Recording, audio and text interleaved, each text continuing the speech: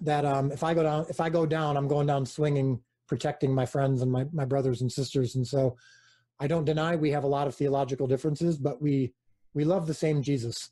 And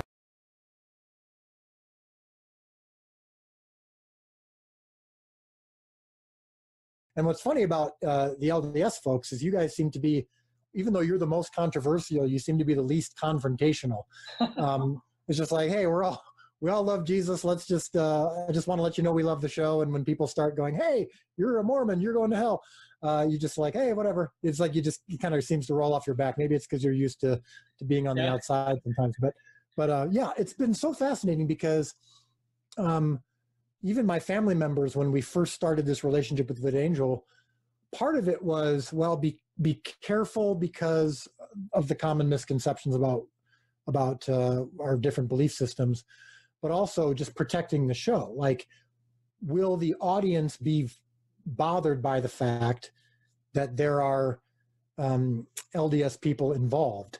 Personally, I didn't really care because I've I've worked with people of all different traditions or i mean i've worked with atheists i've partnered with with people who've distributed my movies who had zero desire to you know or connection to to christ and couldn't have cared less about it so even if i had significant disagreements with the lds community which i've learned i have fewer than i thought i did. But even with that i was okay. I was comfortable with that because as long as they're treating the show properly that's all that matters.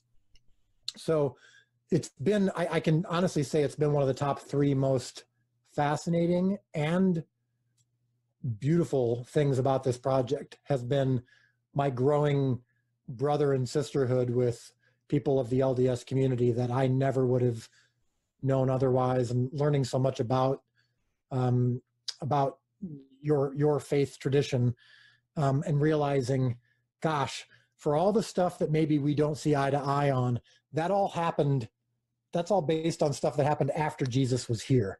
Um, the stories of Jesus we do agree on, and we we love the same Jesus. Um, that's not something that you often hear. Sometimes it's like, oh, you uh, they that's believe a, in a different yeah, Jesus than we do. Statement. Yeah.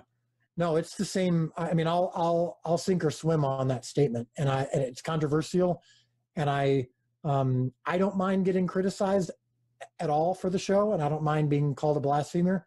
I don't like it when my friends are, and um, I've made it very clear that um, if I go down, if I go down, I'm going down swinging, protecting my friends and my my brothers and sisters. And so, I don't deny we have a lot of theological differences, but we we love the same Jesus, and